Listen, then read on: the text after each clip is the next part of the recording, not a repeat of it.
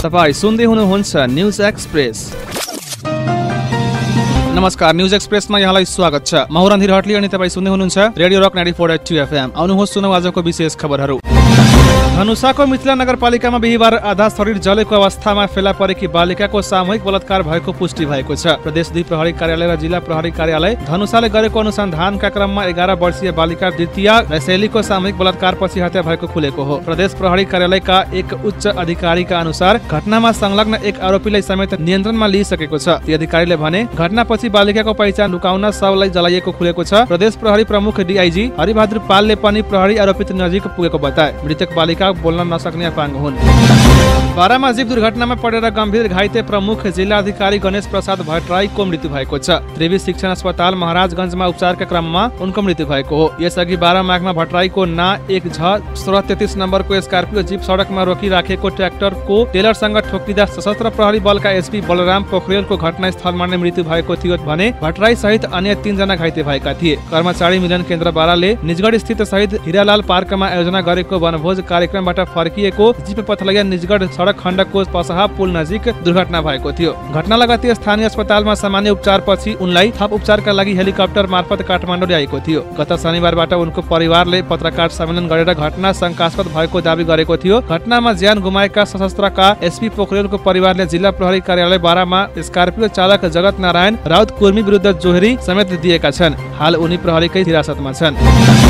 उनहत्तरौं प्रजातन्त्र दिवस दुई हजार सात साल फाल्गुन सात एक सय चौध वर्ष जहानिया राणा शासनको अन्त्य भएको दिनको सम्झनामा मङ्गलबार विभिन्न कार्यक्रम गरी मनाइँदैछ। सरकारले प्रजातन्त्र दिवस भव्य रूपमा मनाउन लागिरहेको छ। यसै अवसरमा राष्ट्रपति विद्यादेवी भण्डारी उपराष्ट्रपति नन्द बहादुर पुन प्रधानमन्त्री केपी शर्मा ओली लगायतले शुभकामना व्यक्त गरेका छन्। राष्ट्रपति विद्या भण्डारीले प्रजातन्त्रका आधारभूत मूल्य र मान्यता आत्मसात गर्दै अघि बढ्ने उत्प्रेरणा प्रदान गरोस् भन्दै शुभकामना दिएकी छन्। निरङ्कुश जहानिया राणा शासनको अन्त्य भई जनताले राजनीतिक स्वतन्त्रता हासिल गरेको ऐतिहासिक दिनको सम्झनामा प्रत्येक वर्ष प्रजातन्त्र दिवस मनाउने गरेका छौँ। राष्ट्रपति कार्यालय शीतल निवासबाट जारी विज्ञप्तिमा भनिएको छ। प्रजातन्त्र बहाली र संस्थागत गर्ने क्रममा हामीले अभूतपूर्व उपलब्धि हासिल गरेका छौँ। संघीय लोकतान्त्रिक गणतन्त्र नेपाली जनताको सङ्घर्षको प्रतिफल हो। प्रजातन्त्र दिवसको अवसरमा शुभकामना दिँदै उपराष्ट्रपति नन्द बहादुर पुनले स्थानीय शान्ति दिगो विकास र आर्थिक समृद्धिका लागि अग्रसर हुन सबै तहका सरकार राजनीतिक दल लगायत सरकार भएका पक्षलाई आग्रह गरेका छन्। यस्तै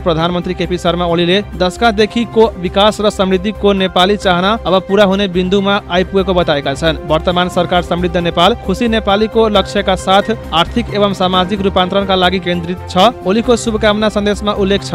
निरङ्कुश तन्त्र र अधिनायकवादलाई परास्त गर्ने हामी अब गरिबी, बेरोजगारी पछौटेपन विभेद र अविकासका विरुद्ध केंद्रीय भएका छौँ। राष्ट्रिय सभाका अध्यक्ष गणेश प्रसाद तिमिल सिन्हाले संविधानको मर्म अनुरूप संघीय लोकतान्त्रिक गणतन्त्रलाई संस्थागत गर्दै सरकारले लिएको दीर्घकालीन लक्ष्य समृद्ध नेपाल सुखी नेपालीलाई साकार पार्न समावेशी लोकतन्त्रमा जोड दिनुपर्ने बताएका छन्।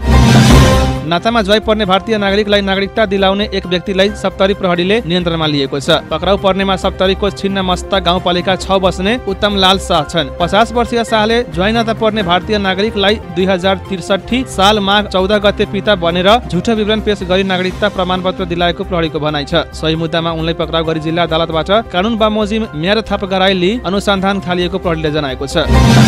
उद्योगी व्यवसायीहरूले उठाउँदै आएको ब्याङ्कको ब्याज दरको विषय केही समयका लागि टुङ्गिएको छ। ब्याज दर समस्या समाधान गर्न प्रधानमन्त्रीले उद्योगीहरूकै सामुन्य निर्देशन दिएपछि अर्थमन्त्री डाक्टर युवराज खतिवड़ाले सोमबार निजी क्षेत्रका प्रतिनिधि र ब्याङ्कर्सको बैठक बोलाएका थिए। बैठकमा सरकारी अधिकारीहरूले मौद्रिक नीतिको अर्थवार्षिक समीक्षामा ब्याज दरको विषय सम्बोधन हुने आश्वासन दिएका छन्। बैठकमा सहभागी पूर्व ब्याङ्कर अनल राज भट्टराईले भने अर्थमन्त्री ज्यूले पनि मौद्रिक नीतिको अर्थवार्षिक समीक्षाबाटै उद्योगी व्यवसायीहरूको माग सम्बोधन गर्छु भनेपछि बैठक सकिएको छ। पछिल्लो समय विराटनगरका उद्योगी व्यवसायीहरूले ब्याज दरको विषयलाई प्राथमिकताका साथ उठाएका छन्।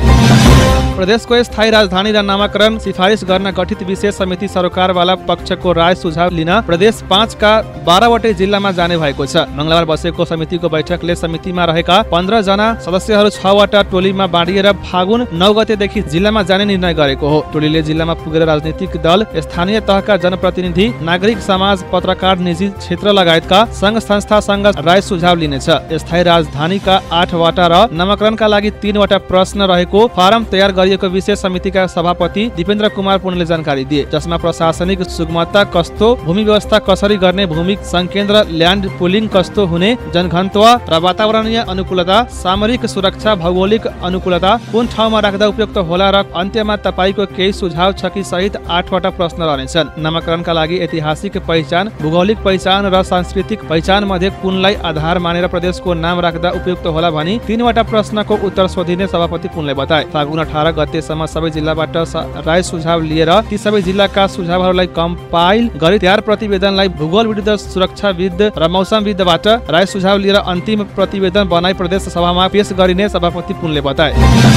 विभिन्न चार देशका राजदूतले सोमबार शपथ लिएका छन्। संयुक्त अरब डमिरेट्सका राजदूत कृष्ण प्रसाद ढकाल मलेसियाका लागि नेपाली राजदूत उदय राज पाण्डे कुवेतका लागि नेपाली राजदूत दुर्गा प्रसाद भण्डारी र फ्रान्सका लगी नेपाली राजदूत दीपक अधिकारीले राष्ट्रपति विद्यादेवी भंडारी समक्ष शपथ लिएका हुन्। शपथ कार्यक्रममा परराष्ट्र मंत्री प्रदीप कुमार गेवाली लगायत सरकारका उच्च पदस्थ अधिकारी सहभागी थिए।